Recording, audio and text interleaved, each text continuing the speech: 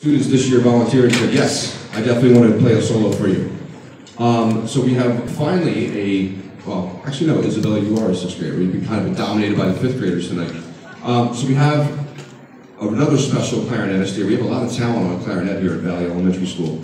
This is Mr. Andre Werner, and he is a sixth grader, third year player, and he is going to play, showing off again that high register and every other thing in between, the Carol of the Bells.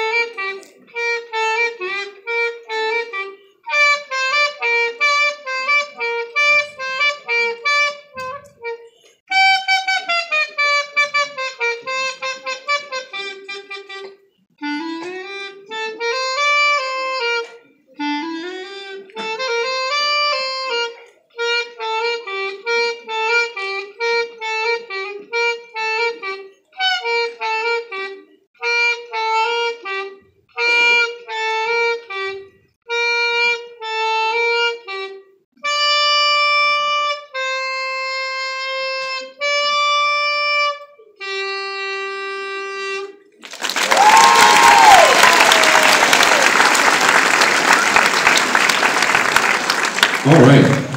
Uh, I just want to point out with Andre's piece right there that, and, and actually most of the students, they perform these songs in their original keys. And what that means for us musicians, um, these are notes that aren't normally found in elementary school. We don't kind of play, not just the notes themselves, but the combinations are, are really difficult.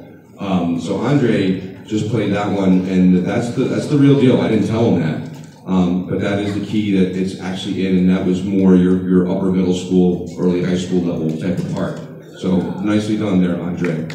Um, yes. All right.